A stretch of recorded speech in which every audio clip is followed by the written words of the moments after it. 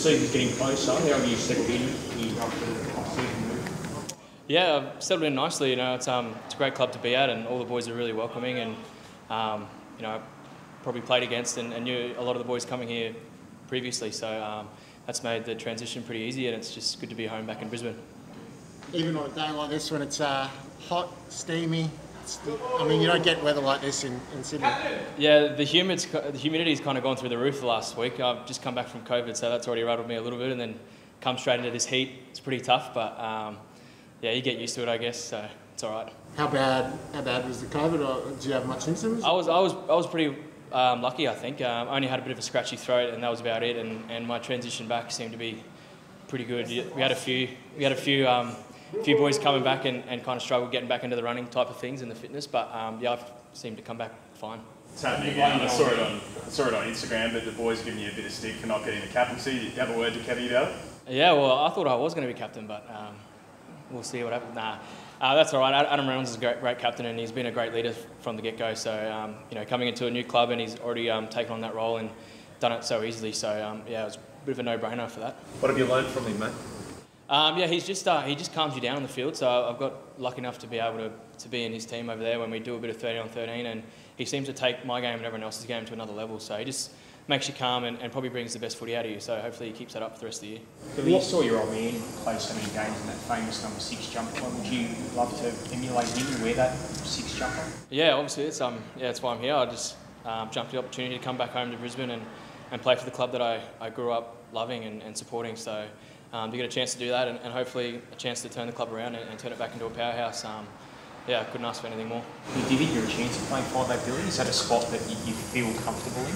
Yeah, I, I think um, there's a lot of spots up for grabs, and, and obviously that, that six is the one I'm, I'm trying to get, and there's a lot of great players going for it, and um, I think it's anyone's game. I think it's going to come down to the trials and, and who performs best in the trials. So um, yeah, it's going to be an interesting battle. So you're training at dummy half a bit the other day. Is that another option for you? Yeah, yeah, that's just another option in case um, you know if I miss out on the six jersey, um, it can maybe a bit of a utility on, on the bench, or um, you know we've only really got Jake Turpin and, and Cory Paix that can play dummy half at the moment. So with COVID and, and injuries these days, you never know when you might have to jump in there. So it's good to just get some reps in there. Mate, that versatility, sorry, that, that versatility, do you reckon that's where you might see yourself or where your best possible chance to land in the 17?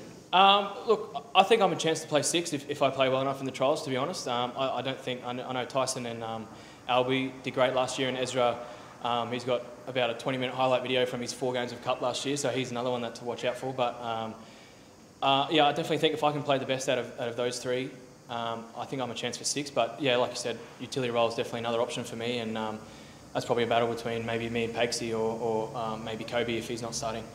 What are, you, what are your memories of your dad as a player and, and was that, did that sort of like the fight of want to play for the Broncos as a young fella? Yeah, um, you know, watching Kevy grow up, he won a lot of games and won a lot of competitions, so um, I just know how, how close it made him with all of his Broncos mates. You know, he's still best friends with Alfie who's here, but a lot of the a lot of the blokes that he won premierships and comps with, you know, they're still best mates now. So to try and um, build that uh, bond, I guess, and um, and those memories would be something that I'd love to achieve.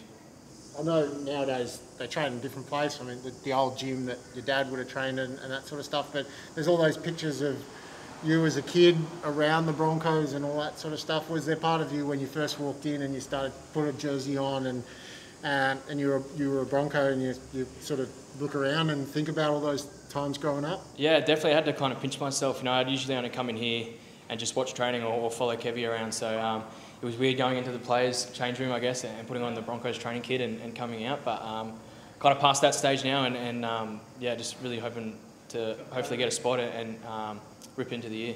Billy, how hard is it to actually call him Kevy?